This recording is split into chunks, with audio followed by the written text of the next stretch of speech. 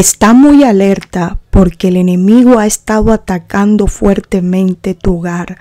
Tu familia ha estado en medio de pleitos, de diferencias muy fuertes y tú quizás has querido desistir, a veces irte lejos, dejar todo tirado, problemas con tu pareja, entre tus hijos.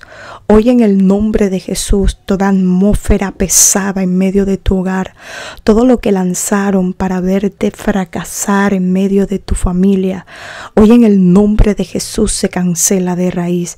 Y este ataque no ha sido desde ahora, es de mucho tiempo atrás, porque hay personas que quieren ver tu destrucción, verte en tristeza, no quieren que salgas adelante, envidian la felicidad que venías teniendo en medio de tu hogar, pero últimamente todo se ha tornado difícil en muchos aspectos, aún hasta en tu economía lo has sentido. Hoy en el nombre de Jesús declaro restauración en medio de tu hogar y todo lo que se levantó para traer división, para traer fracaso, en el nombre de Jesús se cancela de raíz.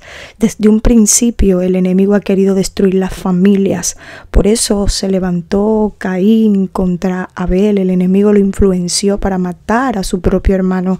Asimismo hay personas que el enemigo ha influenciado en medio de tu entorno para traer destrucción en medio de los tuyos, pero hoy en el nombre de Jesús declaro que el poder de Dios viene interviniendo en medio de esa situación.